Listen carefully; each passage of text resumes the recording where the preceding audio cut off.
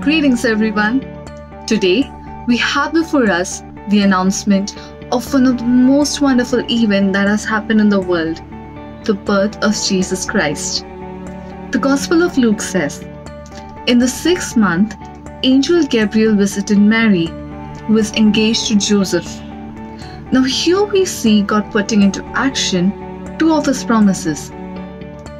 The sixth month indicating that Mary's cousin Elizabeth was six months pregnant, and thus the Lord fulfilled his message that was delivered by Angel Gabriel that Elizabeth is to bear a son who will prepare the way of the Lord. Secondly, we see God has revealed many times in the Old Testament that the Messiah will be born in King David's lineage.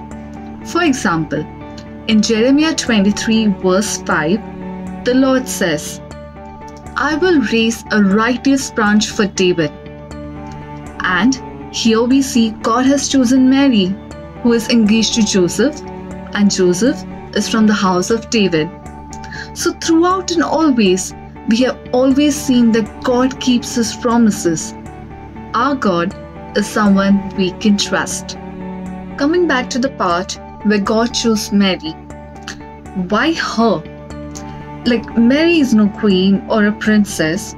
In fact, Mary is just a small town girl from Nazareth. And Nazareth was considered unclean by most Jews at that point of time in history. Then why her? She was no one important. Yet, God chose her for the simplicity of her heart. She was humble, obedient, and someone who always kept God's words. God does not choose people for material richness, rather, the purity of their hearts. When Angel Gabriel visited Mary, he had said, Greetings, favored one, the Lord is with you. Now, how many times in our lives we had to face difficult situations or we have felt lonely, and our parents and our friends, siblings, they have come to our rescue. Complete strangers have helped us out sometimes. But did you ever remember that God is doing all this through them? Every day, every step you take, every second, the God is with us. So, this Advent, let us remember to place our trust in God, that He is with us every day, all the time, and will always hold our hand every time we fall.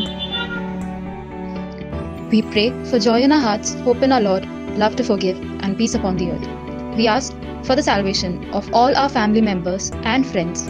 We pray your blessings on all people of this world. O child Jesus, fill our hearts with your love and peace. Amen.